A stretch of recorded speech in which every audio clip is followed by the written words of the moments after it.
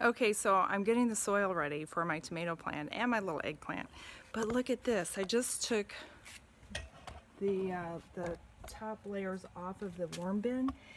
And look at that soil. There's some worms in there too, which is why, and I'm sure there are a ton of eggs in there, which is why I really want to create some habitat in the, in the pot. It's a big pot. I, I think it's going to be okay, but we'll monitor it and see what happens. But I think it's going to be a good source of food for the tomatoes. It's going to keep that habitat going and actually inoculate the pot so that I have a really good ecosystem there for growing. It's going to break down, help break down all these nutrients. So I added the banana peel, I added the bone meal and the eggshells. I'm actually doing two pots, so I did it there.